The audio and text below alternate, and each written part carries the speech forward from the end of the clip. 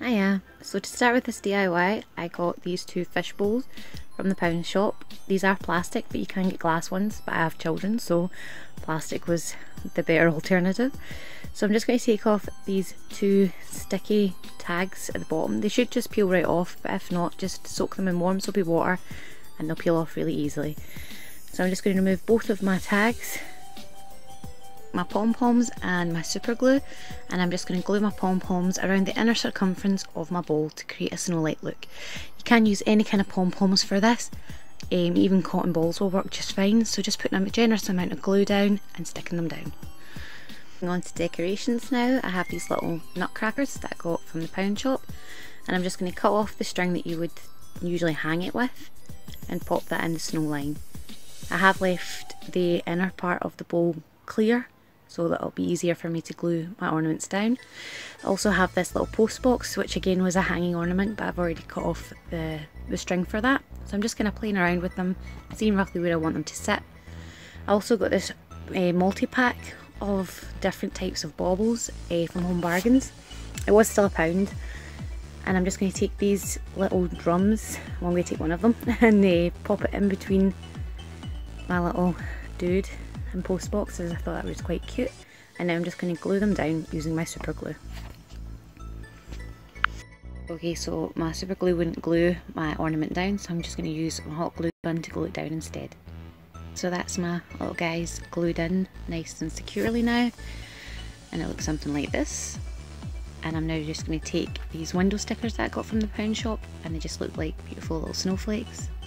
And I'm just going to glue them around the sides and back of my bowl, leaving the front part bare so you can still see inside. Stuck down my snowflakes on the inside of my bowl, again just around the sides and back, leaving the front part bare. I'm going to add some snowdrops to that later, but for the moment I'm just going to put it to the side and move on to my second bowl. So again I got some decorations again from the pound shop. So I've got a little Santa Claus and a little tree and I'm just going to be popping them in this bowl here.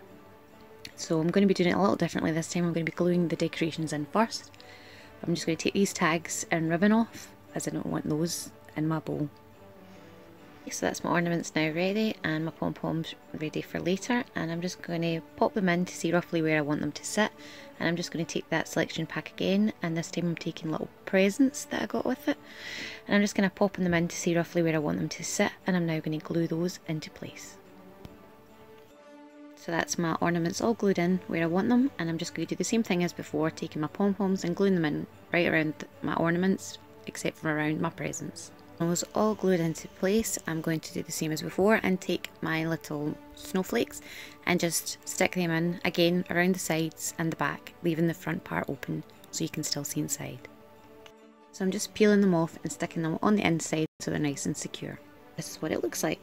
And now I'm just going to create some snowdrops using just regular Tipp-Ex, I'm just going to take the sponge and press it very lightly to create little snowdrops. And I'm going to do this all over the bowl in between all my snowflakes just to give it that finishing snowdrop look. So I went ahead and did that to both my bowls and now I'm just going to pop one on top of the other and make sure that both pictures are facing forward and then I'm going to take my hot glue gun and go right around the rim of the lower bowl and then stick the top one on top. Like I said, I'm just going to take my hot glue gun and I'm just going to go right around the rim of the lower bowl and making sure my pictures are both facing forward.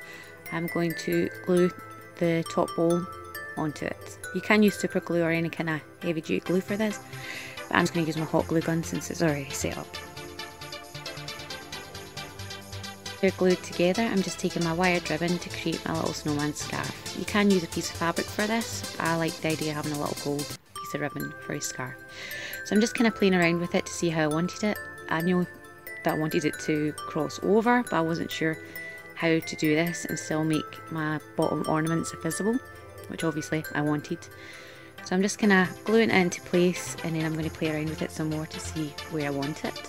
So it does take some jiggery pokery, but just keep at it and you will get it the way you want it. So I ended up with this a sort of windswept look for my scarf. And the way I got this was I just brought it over into a cross and then brought it right back over itself and just sort of pulled the wires to make it the one-sided look. So I'm just going to move on to the hat and I got this in the pet section of the Pound World and I'm just going to cut off the little ear tag things. I don't know what they are really, but the things that attach it to a dog. I'm going to cut those off and I'm just going to glue it around the top of my bowl. Again, super glue will work just fine for this. And I'm just going to stick it down into place and that's here's my finished snowman and I hope you guys like it. I love it. I hope you give it a go and if you do let me know on Instagram and in the comments below and be sure to like, share and subscribe. See you soon. Bye.